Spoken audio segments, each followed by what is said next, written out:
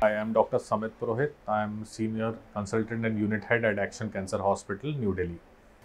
Cancer diagnosis and detection दोनों ही बढ़ गए हैं कुछ टाइम से और इसका बहुत बड़ा कारण जाता है लोगों में अवेयरनेस से इसके साथ साथ बेटर डायग्नोस्टिक हमारे पास फैसिलिटीज़ हैं जिससे हम अर्ली डिटेक्शन या लेट डिटेक्शन भी कर पा रहे हैं लोगों में अवेयरनेस है तो लोग जल्दी हेल्थ केयर प्रोफेशन के पास जा रहे हैं और इससे डायग्नोसिस कैंसर्स की बढ़ रही है ये सच है कि कैंसर का डिटेक्शन रेट्स पिछले कुछ टाइम से काफ़ी बढ़ गया है।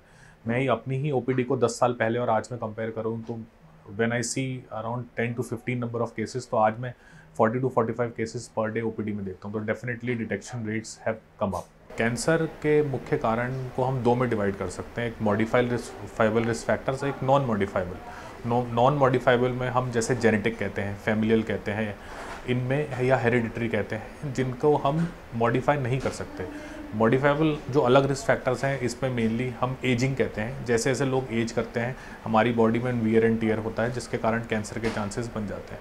हमारी बॉडी एक तरह का मैकेनिज्म है, जिसमें हर रोज़ ख़राब सेल्स बनते हैं और करेक्टिव मैकेनिज्म उनको ठीक कर देता है। लेकिन विद एजिंग ये चीज़ ख़राब हो जाती है और कैंसर के चांसेस बढ़ जाते हैं। दूसरा डाइट डाइट जो हम आज हाई कैलोरी डाइट लेते हैं हाई फैट डाइट लेते हैं, इसका भी काफ़ी कारण है, जो कि कैंसर्स की डायग्नोसिस ज़्यादा डिटेक्शन ज़्यादा हो रहा है।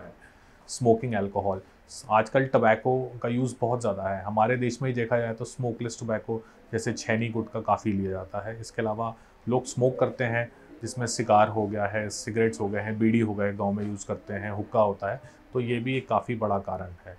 डाइट जो मैंने पहले ही बताया calorie rich is again a big factor lack of exercise we don't exercise we are living a sedentary lifestyle so that is again a big big big reason for cancer इसके अलावा लोगों के कुछ एसोसिएटेड डिजीजेज होती हैं जैसे diabetes diabetes again is a risk factor obesity obesity is a risk factor the more the obese the more the hormonal imbalance high chances of cancer are there so these are the major factors which are leading to cancer